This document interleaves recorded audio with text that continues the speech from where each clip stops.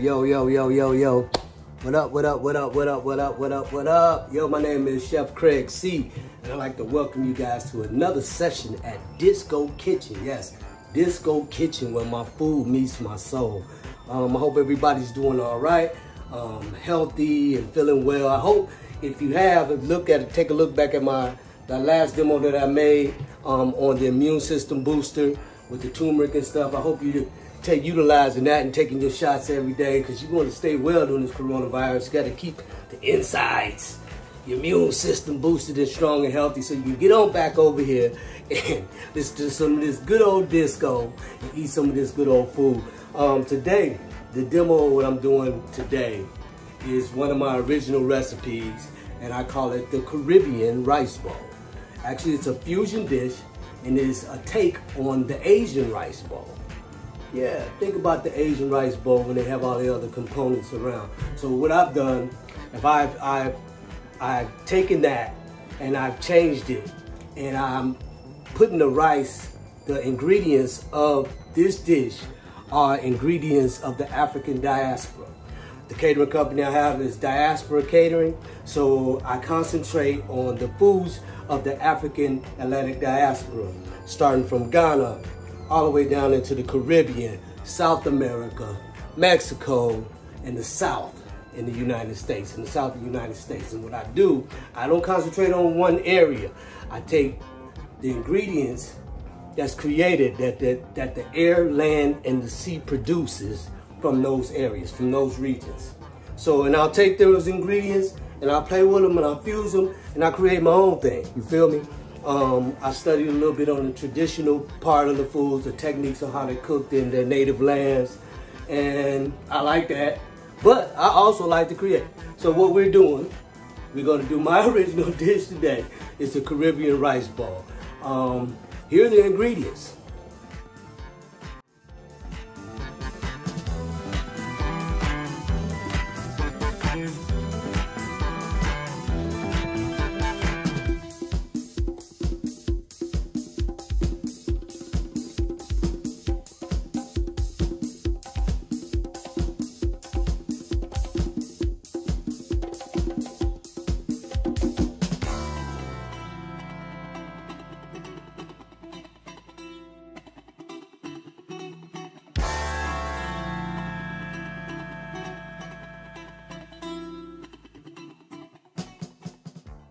Oh yeah.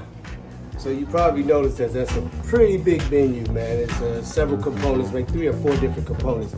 But to get started, the first thing I would probably do for, my, for me, this is what I would, I, I think this is what you should also do first, is you should do the pickling part first. For the pickled carrots and the pickled cabbage. You should make your pickling liquid, um, get it all together, and what you need with that, you're gonna need red cabbage, you're gonna need carrots, um, you're gonna need one cup red wine vinegar, one cup of water, one cup of sugar, maybe a tablespoon of allspice, whole allspice, and a couple of sprigs of, of thyme, like three sprigs of thyme. I want you to get that in, get that going, get your uh, liquid going, and get the cutting. Um, check out the video.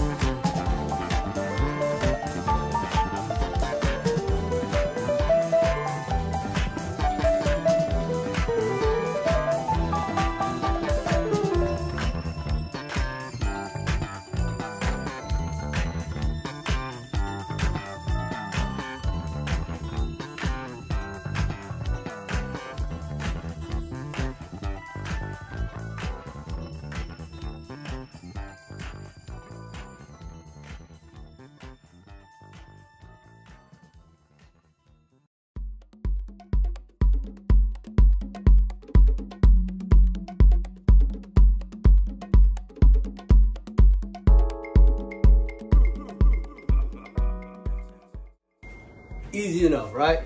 That was simple. Pickling liquid, simple. That's basically a classic pickling liquid, but mostly all pickling liquids you add salt. About just as much as salt as you do with the sugar, water, and the, the uh, vinegar. But that was easy. I didn't want to add salt to this one. So again, this is my own thing. So the next thing I will probably do is create the marinade, get the marinade, um, put together, put all the marinade, every all the ingredients in the marinade. I'll show you that. Um, get it together and get your shrimp marinated. Peel your shrimp if you're getting the shrimp that you got to peel in the vein. Peel in the vein. That I'll show you that. And you also want to get your portobello mushroom marinade. So you're gonna make that recipe two times so you can have enough for your mushrooms and enough for your shrimp. You're gonna marinate them separately. And I'll show you that right now.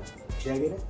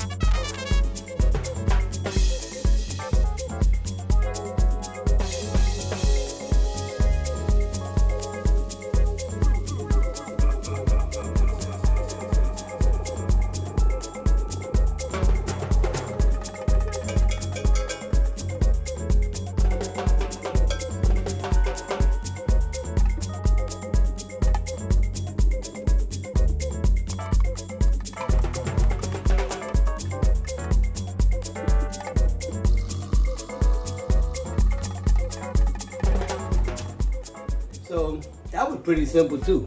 Mostly everything is simple. It's just like following directions, like to the T. Um, you just gotta be focused to do it. None of this stuff is hard. You can learn how to read recipes and learn how after you taste them, what you can add, put your own thing, own twist and stuff.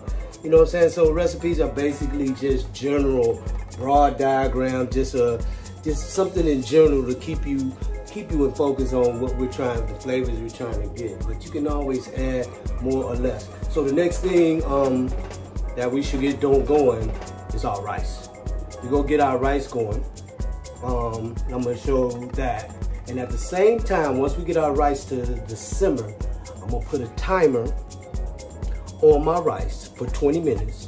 And at the same time, that that timer is gonna serve as a timer for my rice as a timer for my portobello mushrooms. How about that? So check it out.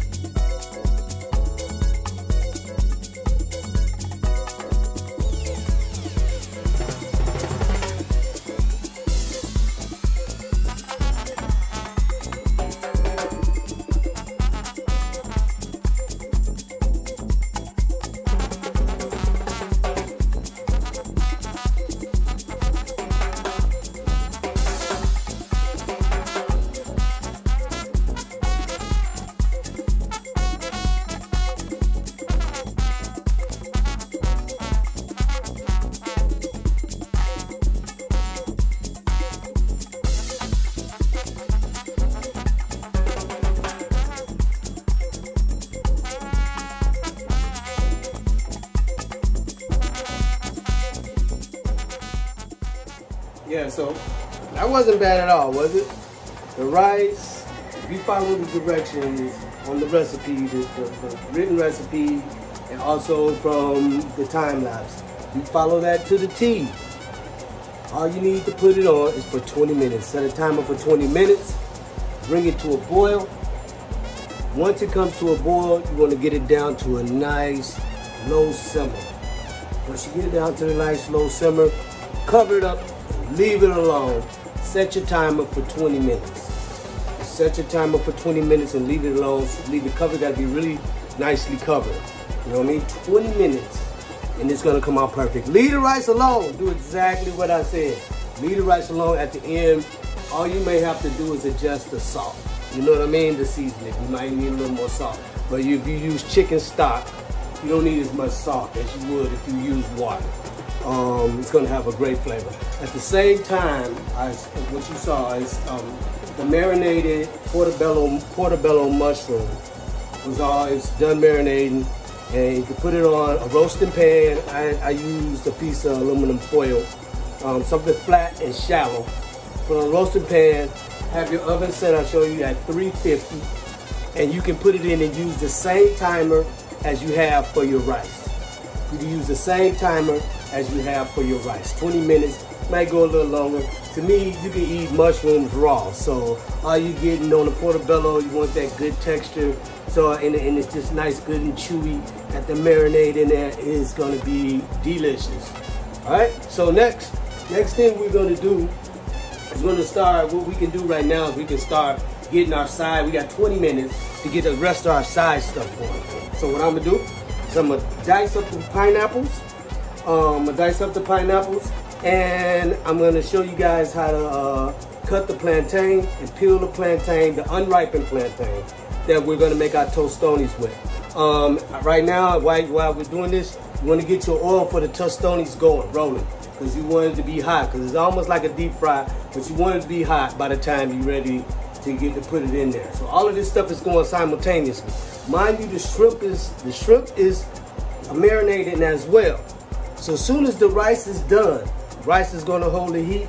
As soon as the rice is done, I'll have everything ready. And the last thing I'm gonna do is I'm gonna toss the shrimp, um, saute the shrimp real quick in a wok. You know, a shrimp, maybe three minutes. You know what I'm saying? Toss the shrimp, and then when you get it out and ready to plate, the shrimp will still be hot. So, yo, here we go with the plantains and the cutting of the pineapple.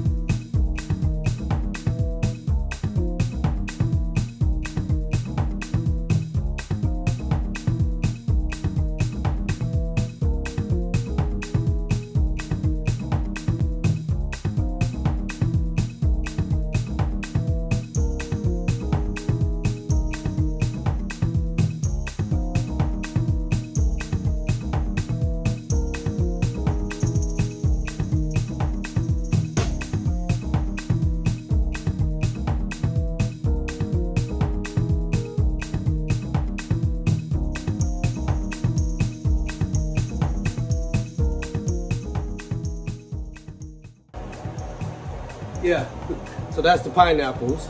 And that was how you cut and peel the plantains, unripened plantains, right? So my rice is still going. I'm not sure how much time I got left on it. I'm wasting time when I stop to do this. But um, 20 minutes is almost over. Let me see how much time we got. Uh, we got one minute. One minute left. One minute left for the rice and one minute left for the mushroom as well. So I pull my shrimp out we about ready to go, baby. So now I'm gonna show you guys the cooking, the whole process of the tostones. Tostones is what they call uh, Puerto Rican dish made out of unripened plantains. I love plantains, so many different textures, so many different ways you can use. You can actually use plantains as a bread. You can use it tostones as a stack. You can do the chips. You can do them as garnish. You can do them as croutons. You can do them as mashed, like a mashed potato. There's so many ways that you can use the plantain. And it's a vegetable. Actually, it's a fruit. It's a fruit. It's no gluten. It's gluten free. And you can use it as so many different things. I love the plantain. But this is what we're going to do with the plantain today. We're going to make a tostone, which is going to be somewhat a garnish or an additive to our Caribbean rice bowl. Check it out. Sweet, right? Hey, but you haven't seen nothing yet. Here's the little trick, right? Plantains, right? When you when you cook them and you deep fry them, all you're doing is trying to get them to a little color, not much color, just a little color. Because mind you, they are unripened, so they're white. You want to get them just a little yellow, and you know you can feel it where it's a little creamy inside. Here's the really fun part. Here's the really fun part about tostones. You'll get to watch and see how this works. I'm not going to fast forward it. I'm to do this right now. And I also showed you that the rice, how, how, how really fluffy and nice the rice is. You saw that in the time lapse. Um, you see the rice again. Uh, so here, look. Check it out. It's a little trick that that we have with the plantains. I'm gonna get you down so you don't need to see me no more. All right, so these are the plantains that I just took out of the grease. Um, I let them rest. I set them right here and I let them rest. Maybe about five minutes, let them rest. I keep my grease on so I can keep it hot. Turn it down just a little. Keep the grease on because we're not finished yet. So here's what we do. Um, there are places that they have plantain press and they basically made out of wood like this Jaja Home board. My friend Jen and Jaja Home gave me, gifted me this board. But the um, plantain presses are basically like this, um, made out of wood. And they go like this, right? And they smash, they go down and they smash them. About, about this big, two boards basically with a hinge on it. And you put them down so you can you can like smash like six of them, seven of them at a time because you got to spread them out, give them room to flourish like a little flower. But we don't have that. So this is what we do.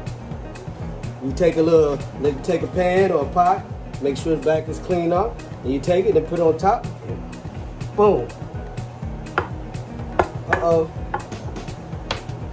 That was a good one. I didn't, see, okay, this is great. This is great. These are, I see you put, I put a couple in a little late, right?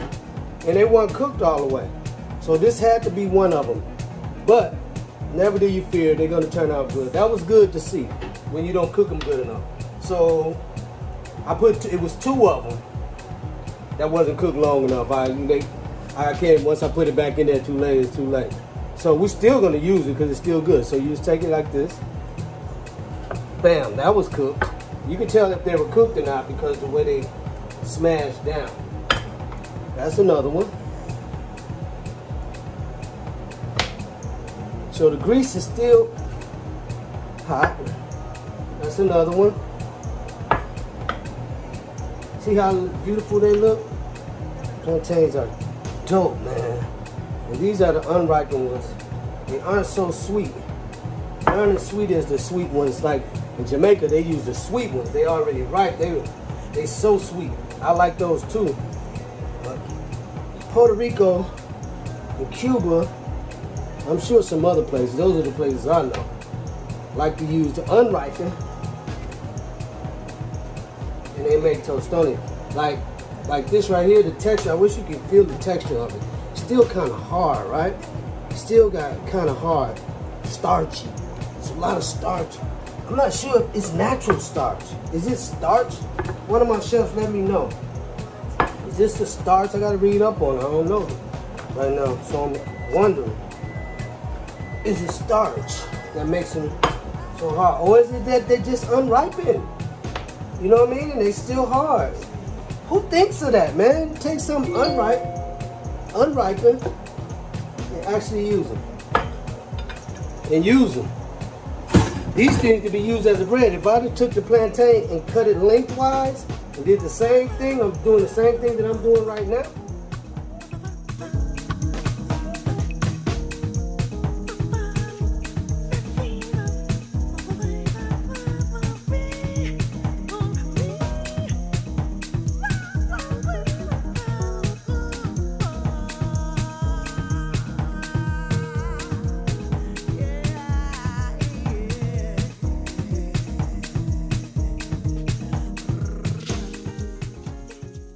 and then we're gonna plate. All right, so we're gonna get over here, get out the way. Yeah, so we're gonna go, next we're going straight with the shrimp. Um, then we're gonna plate. I'm gonna show you how to play. Huh? Here we go, baby. Disco Kitchen.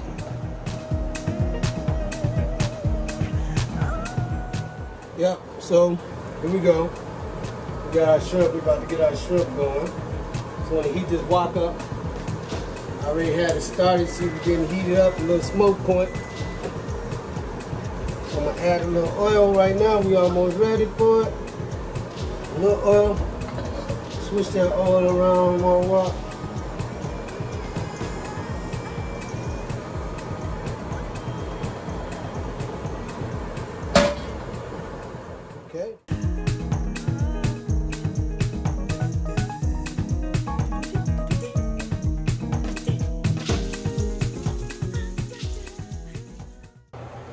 So that was pretty much, we pretty much done right now. The whole thing was, was just texting. Yeah, we pretty much done right now. Gosh, I gotta be somewhere in 10 minutes. Um, yes, I'm gonna go ahead and get this thing plated for you. Uh, we're pretty much done. Everything is happening. I forgot to show you guys where I took out the um, portobello mushroom, but it went on the same time as the rice. So you pull it out at the same same time as the rice. So we are getting ready to plate. And you can play, plating is the artist thing. You can do it how you want to do it. But I'm gonna do it like this, and you can do it like that. It don't matter. Check it out.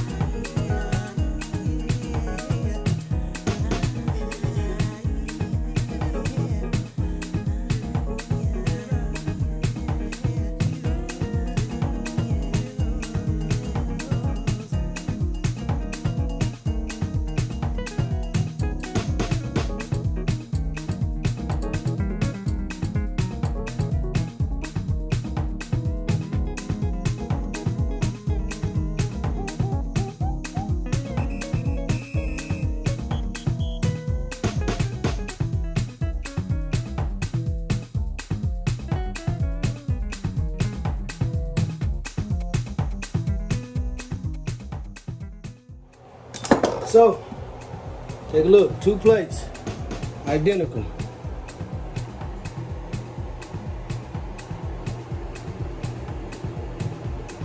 Yes, sir. And I know it's good. I do this one all the time. It's one of my favorite ones, man. Yo, it's your boy Chef Craig C, man. Make sure you do one thing for me, man. I put this all together for y'all. All I'm asking for you, you got a good old recipe that you can give to your. You probably can sell it if you're selling out the crib. Um, and, and make some bread. You feel me? So all I'm asking you to do for me, please just do this for me. Subscribe to my channel. Click subscribe. Click the subscribe button. Share this with your friends. Don't let them share that. Let them share it with your friends. And when you send it to them, tell them, would you please subscribe? Because we got more. Craig got more stuff coming. Chef Craig C. been about that business for a long time. And I'm just finna give it to y'all, man. It's time to give it to y'all. It's just that time, right? It's just that time. So subscribe, uh, share, and turn on the notifications so you know when the next time I'm doing something. You feel me? On the food side and the disco side. I think this weekend we back at Green Room Studios. Me and DJ Vicky Love. We're gonna be putting it down on the house music disco. This is Chef Craig C, your boy, you dig, Disco Kitchen. One more again. See y'all next time. Drink y'all shots. Drink y'all shots. Stay well. Peace.